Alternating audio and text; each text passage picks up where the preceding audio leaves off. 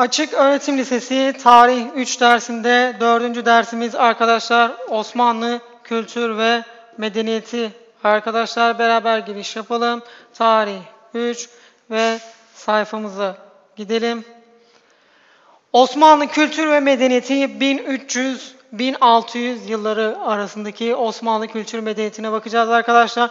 Osmanlılar'da devlet yönetimi Arkadaşlar Osmanlı Devleti'nin yönetim anlayışı, İslam inancı, Türk gelenekleri ve fethedilen yerlerin uygulamalarının bir karışımı Osmanlı yönetimi anlayışını oluşturur. Osmanlı Devleti'nin kurucusu Osman Bey'den Sultan 1. Ahmet'e kadar tahta geçiş kurala bağlanmamıştır. 1. Ahmet'ten itibaren Ekber ve Erşet usulü uygulanmış. Yani hanedanın en yaşlısı ve en olgunu tahta geçme esası kabul edilmiştir arkadaşlar. 15. yüzyılın sonlarına kadar Osmanlı şehzadeleri sancaklara sancak bey olarak gönderilmiştir. Sancaklara atanan şehzadelerin tecrübe edinmelerine yardımcı olan yöneticilere de Lala ismi verilmiştir. Arkadaşlar Osmanlı Padişahı 3. Selim'i görmekteyiz ve Osmanlı hükümdarlarının kullanmış olduğu ünvanlar arkadaşlar Osman Bey Bey ünvanı kullanmış örneğin. Mesela Orhan Gazi, Gazi ünvanı kullanmış. İşte 1. Murat Sultan ünvanı kullanmış. Han ünvanı kullanılmış. Hakan, Padişah, Hüdavendigar ve Halife-i Ruhi Zemin gibi arkadaşlar ünvanlar kullanılmış ve Osmanlı padişahları bütün idarenin başıdır arkadaşlar ve padişahın vekilleri vardır ve bu Vekiller dünyevi yetkilere sahip sadrazam arkadaşlar. Diğeri de dini yetkilere sahip olan Şeyhülislam'dır arkadaşlar. Ve padişahın emirlerine ferman denilmekteydi arkadaşlar. Ve padişahın kararlarının dayanakları vardı. Neydi bu dayanaklar? Arkadaşlar İslam şeriatı, Türk İslam örfü ve saray adabıdır arkadaşlar. Osmanlı yöneticileri İslam devletinin sonsuza kadar yaşayacağına inandıklarından devlete devleti ebed müddet ve devleti aliye gibi sıfatlar vermişlerdir arkadaşlar ve merkez teşkilatına baktığımızda Osmanlı Merkez Teşkilatı başkent İstanbul'daydı. Saray Padiş, saray padişahların devleti yönettikleri Enderun ve özel yaşamlarını sürdürdükleri harem gibi kısımlara ayrılmaktaydı. Temelde saray Enderun ve yani iç saray ve Birun dış saray olmak üzere iki bölümden oluşmaktaydı. Birun ile Enderun'u birbirine bağlayan Babü Saade'nin karşısında yer alan arz odasında padişah divan üyelerini ve yabancı elçileri kabul ederdi arkadaşlar. İşte Topkapı Sarayı'nın görünümü Enderun arkadaşlar harem ve saray okulu olmak üzere ikiye ayrılmaktaydı arkadaşlar.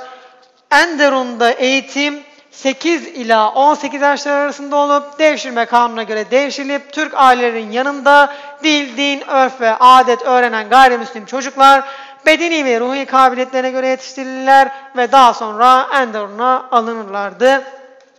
Enderun'da eğitim faaliyetleri oda adı verilen yerlerde yapılmaktaydı arkadaşlar.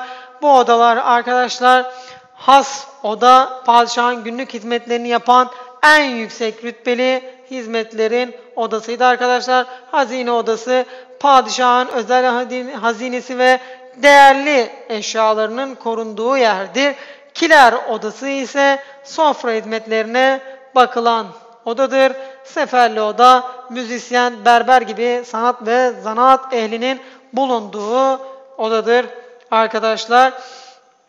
Odalarda eğitimlerini tamamlayanlar çıkma denilen tayin usulüyle arkadaşlar Birun ve Taşra'da görevlendirilirlerdi arkadaşlar. Çıkma denilen tayin usulüyle. Padişahın ailesi cariye ve kadın görevlilerin bulunduğu haremin yönetimini harem ağası yürütürdü. İşte Enderun'daki eğitim ve hizmet odalarından bir, birkaç tanesi daha. Yeniçeriler bunlar kapı kullarının en seçkin birliği olan bu birlik Yeniçeri ağasının idaresi altındaydı. Altı bölük halkı kapıkulu süvarilerindendi. Topçular ve cebeciler arkadaşlar ordunun silah ve top işlerini yürüten yardımcı sınıflardı. Mehterler Mir Alem komutasında hizmet gören bando sınıfıdır. Müteferrikalar ise en deruna çıkma, iç olanların çarşınigirlik, habercilik, elçilik, seyislik, hekimlik, müneccimlik gibi işlerini yapan sınıfta arkadaşlar ve İstanbul'un yönetimi İstanbul 1453'teki fethi sonrasında Osmanlı Devleti'nin başkenti olmuştur. Örnek sorumuza baktığımızda aşağıdaki şehirlerden hangisi Osmanlı Devleti'ne başkentlik yapmamıştır? Arkadaşlar Konya, Edirne, Bursa, İstanbul. Baktığımızda Osmanlı'nın ilk başkenti Bursa, daha sonra Edirne ve en son İstanbul başkent olmuştur. Ancak Konya arkadaşlar Osmanlı'nın değil Anadolu Selçuklu Devleti'nin başkentidir arkadaşlar. İşte Osmanlı zamanındaki İstanbul'dan bir görünüm ve İstanbul'un diğer isimlerinden başlıyorlar arkadaşlar. Dersaadet, Astane, İstanbul, Payitaht Saltanat ve Darül Mülk gibi isimlerle de anılmıştır. İstanbul'un genel düzen ve yönetimini arkadaşlar sadrazam sağlamaktaydı. Sadrazam sefere gittiğinde yönetim işlerini sadaret kaymakamı üstlenmekteydi arkadaşlar. İstanbul'un yönetimi bilgi kutusuna baktığımızda İstanbul'un disiplin ve güvenliğini arkadaşlar Veziri Azam sağlamaktaydı. İstanbul'un en yüksek mülki amiri İstanbul kadısıydı. Yani bugünkü vali arkadaşlar. İstanbul'un güvenliğinden Yeniçeri ağası sorumluydu. İstanbul'un belediye işlerini İstanbul şehremini yönetmekteydi arkadaşlar. İstanbul'un imar işlerini ise mimarbaşı yürütmekteydi. İstanbul'un çarşı ve pazar ve ticaret işlerinden arkadaşlar muhtesip sorumluydu.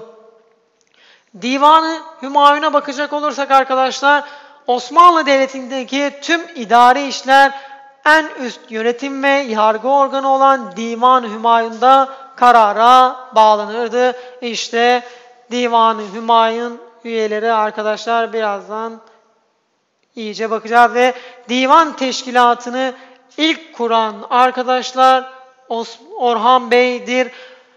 Önceleri padişah başkanlığında toplanan divanın başkanlığı Fatih Sultan Mehmet döneminde Vezir-i Azam'a bırakılmıştır arkadaşlar. Divan kararlarının padişah onayıyla kesinleşmesi bu kurumu danışma meclisine dönüştürmüştür arkadaşlar. İşte yine tablomuza baktığımızda Seyfiye sınıfı, ilmiye sınıfı ve kalemiye sınıfını görmekteyiz. Arkadaşlar bunlara kapsadığı alan yönetim ve askerlik görevi olan sınıfı ifade eder. İlmiye sınıfı eğitim, öğretim, yargı, fetva çıkarma ve yönetimi denetleme görevi olan sınıftır. Kalemiye ise mali ve idari işlerin yönetilmesinden sorumlu olan sınıftır. Divandaki temsilcileri bunlar arkadaşlar. Vezir-i Azam, Kubbe Vezirleri ve Kaptanı Derya, Kazasker ve Şeyhülislam, Defterdar ve Nişancıdır arkadaşlar. İşte Divan-ı Hümayun üyeleri Sadrazam, Kazasker, Nişancı, Defterdar, Reisül Küttab, Şeyhülislam ve Kaptanı Derya arkadaşlar. Sadrazam padişahtan sonraki en yetkili kişidir arkadaşlar. Padişah olmadığında divana başkanlık eder ve orduya komutanlık yapardı. Padişah mührünü taşırdı arkadaşlar. Bağlı olduğu ekol bu. Seyfiye alanı ise idare ve siyasi günümüzde de arkadaşlar başbakandır, sadrazam. Kalasker kadı ve müderrislerin atanmasından sorumluydu arkadaşlar. Eğitim ve hukuk alanından sorumlu. İlmiye sınıfına bağlı. Bugünkü Milli Eğitim ve Adalet Bakanıdır arkadaşlar. Nişancıya baktığımızda padişah adına resmi belgelere tuğra çekerdi. Tımar dağıtımı yapar.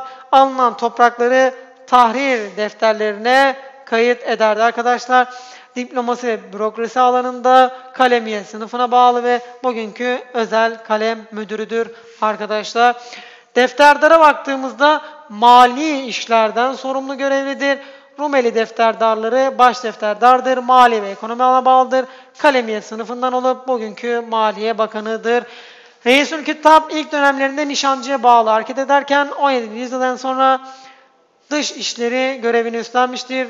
Alanı diplomasidir. Kalemiye sınıfına bağlı olup bugünkü Dış İşleri Bakanıdır. Şeyhülislam alınan kararlarının dine uygun olup olmadığına bakar ve divanın sürekli üyesi değildir arkadaşlar. Din alanında ilmiye sınıfına bağlı bugünkü Diyanet İşleri Başkanlığı'na benzer arkadaşlar.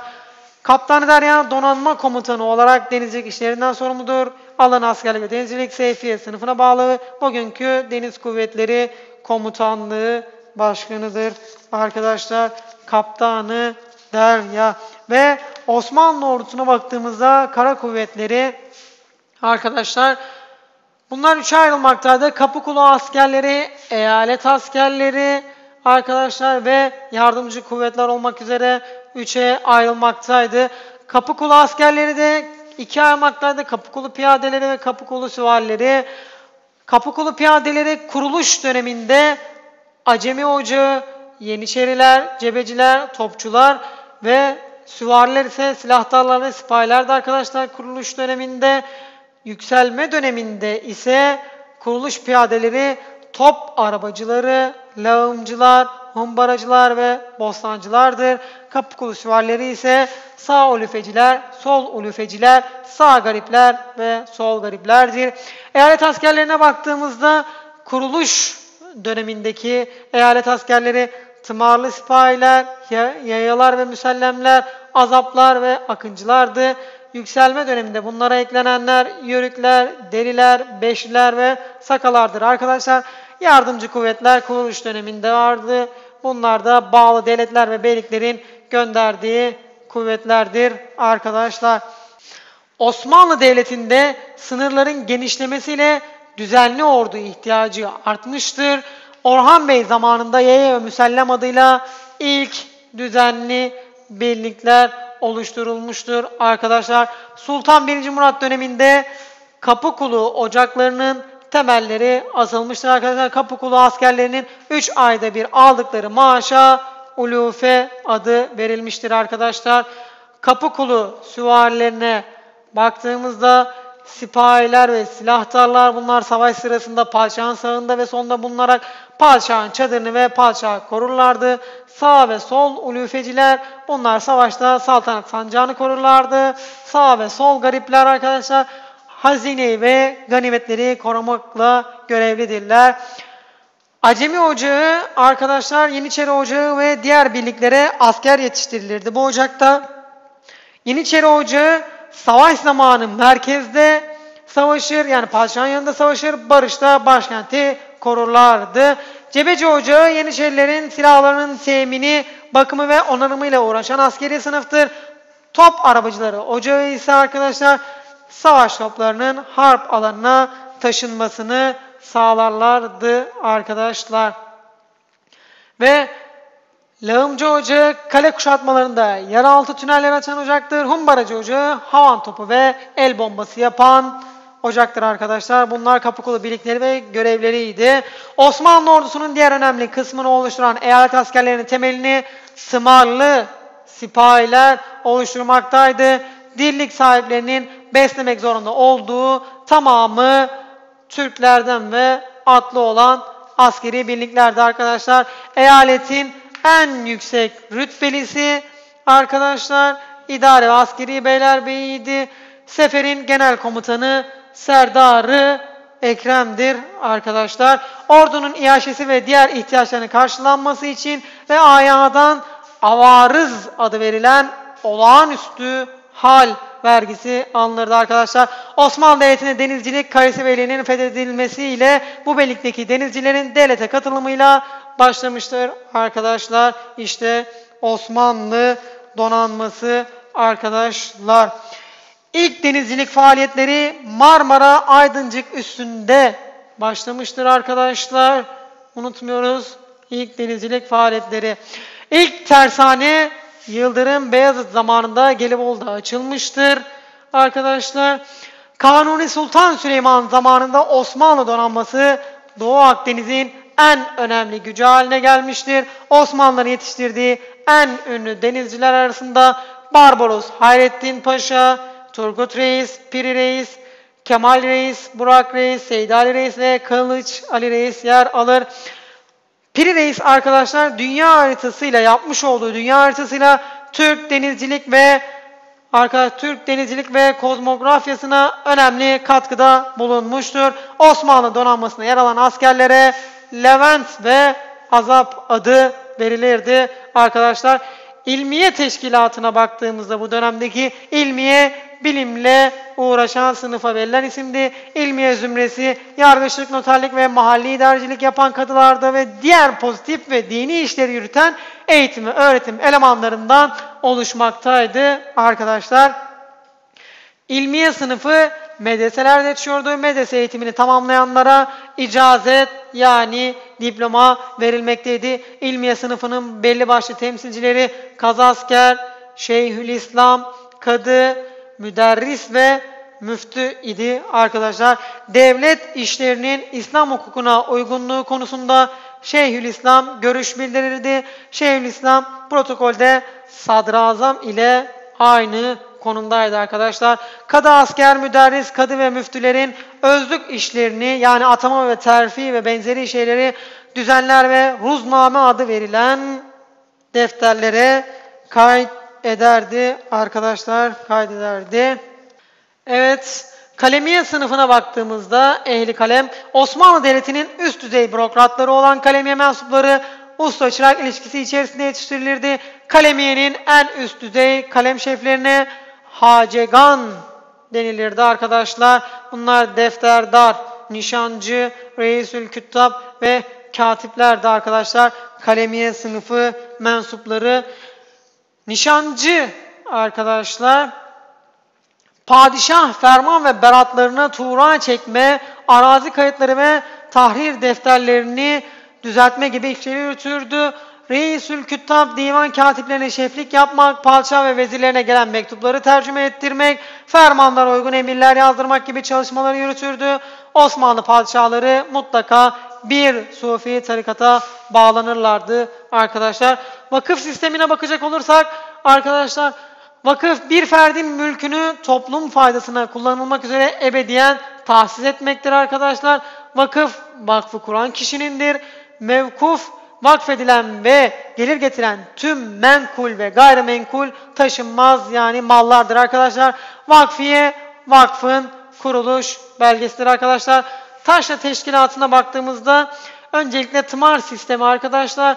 Tımar devlet mülkü kabul edilen toprakların denetiminin maaş karşılığı tımarlı sipahi denilen asker memurlara verilmesidir. Osmanlı Devleti'nin toprak yapısına baktığımızda mir arazi ve mülk arazi olmak üzere iki ayrıldığını görmekteyiz. Mir araziler dillik, paşmaklık, ocaklık, malikane, vakıf, mukata ve yurtluk.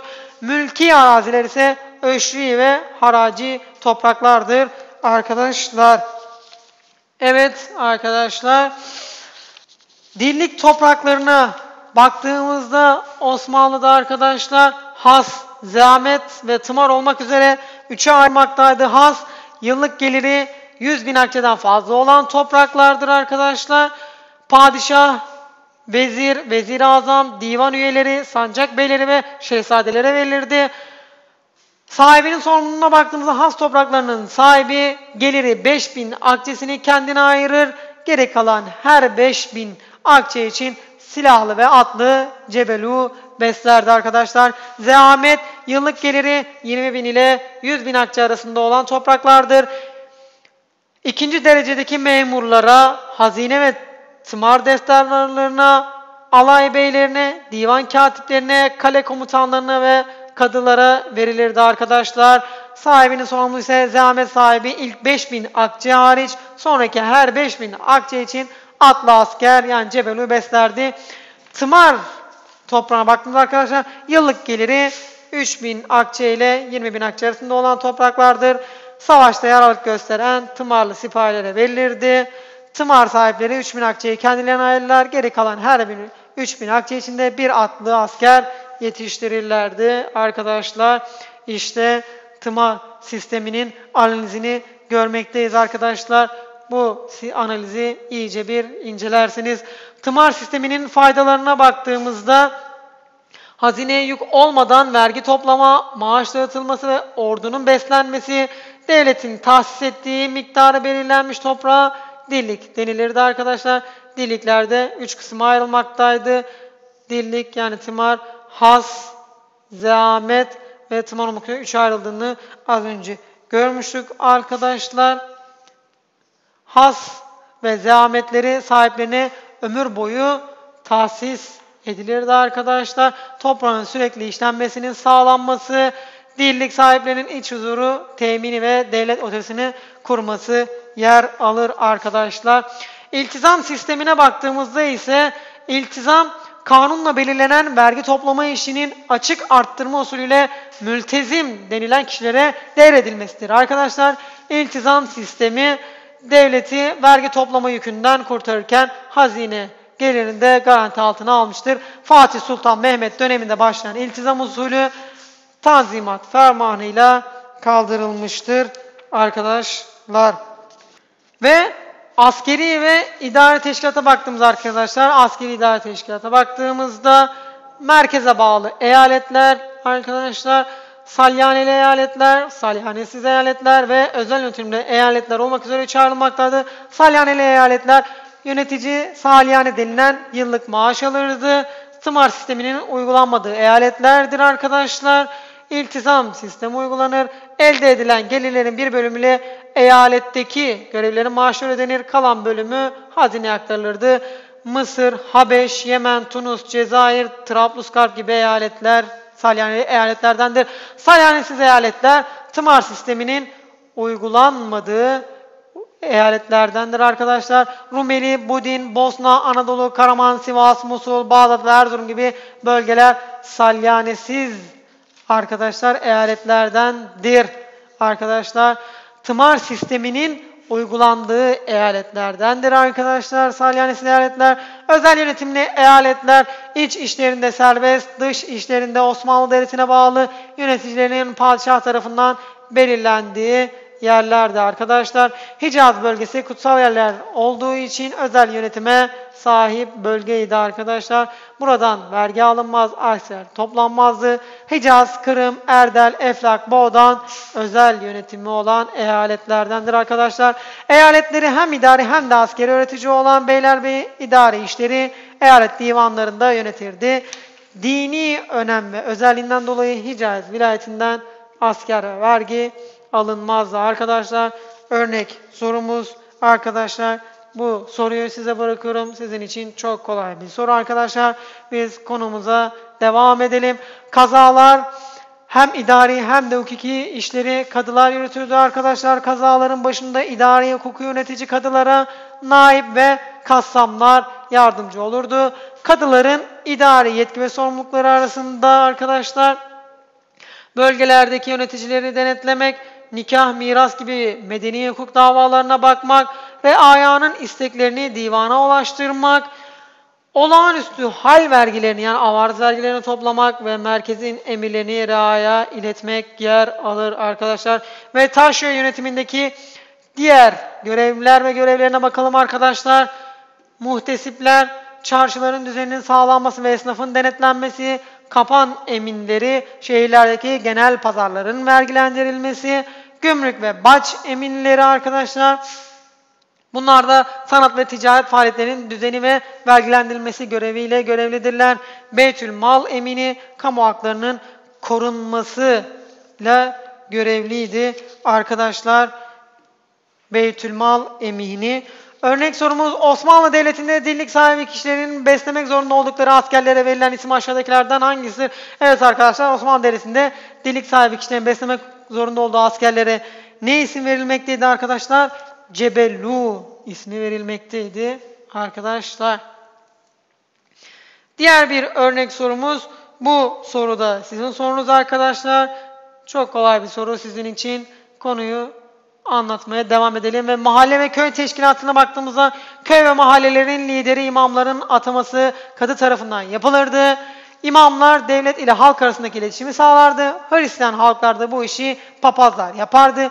Köy ve mahallelerde kurulan Avarz Akçesi Vakfı olağanüstü hal vergilerinin karşılanması, okul, cami, köprü gibi sosyal testlerin yapılması, iktisadi sıkıntı içinde bulunanlara borç verilmesi gibi hizmetleri yürütürdü arkadaşlar. Esnaf teşkilatına baktığımızda ise Osmanlı şehirlerindeki üreticiler iktisadi, mali, idari ve sosyal görevleri bulunan bir loncaya üyeydiler. Esnaf birliği olan loncalar, esnaf devlet ilişkilerinin düzenlenmesi, üreticilerin mesleki, dini ve ahlaki açıdan eğitilmesi, usta çırak hiyerarşisi ve eğitiminin verilmesi, üretimin kalitesi ve fırsat eşliğinin sağlanması gibi işleri görürdü.